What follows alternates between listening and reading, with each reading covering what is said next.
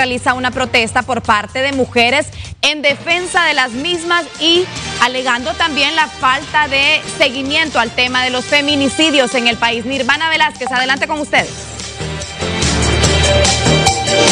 Así es, muchas gracias compañeros. Como usted lo indica, ubicados desde el Ministerio Público, mujeres de todo el país han llegado, incluso desde eh, también el sector de Intibucá.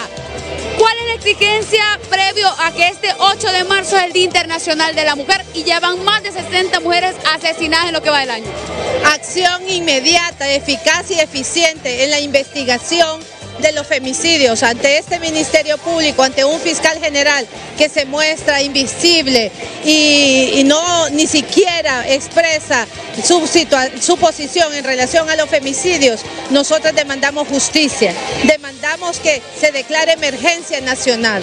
No es posible que esta pandemia que representan los femicidios y las violencias pase sin, sin, sin hacer nada de parte de las autoridades. Necesitamos que este gobierno haga algo, algo pero realmente que repercuta e impacte en las vidas de las mujeres y que puedan efectivamente prevenir los femicidios. Muchas gracias. Eh, en este momento vamos a mostrar también que mujeres de todo el país se han dado cita. ¿Ustedes de, qué parte vienen?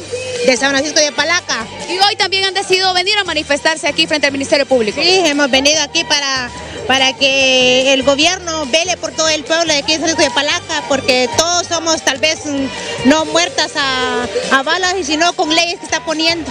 Así es.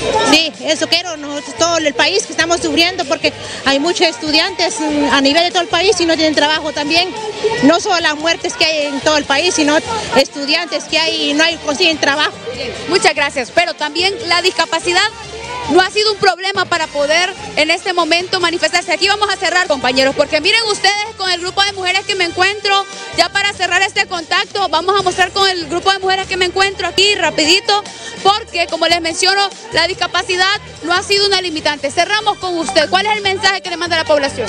Este, no, que todas las mujeres tenemos derechos a todo y que nos apoyen. muchas gracias. Bueno, desde acá, desde el Ministerio Público, con esta protesta, estudios principales. Muchas gracias, Nirvana Velázquez. Mire, esto es muy importante. Nuevamente le hacemos hincapié en la utilización del gel para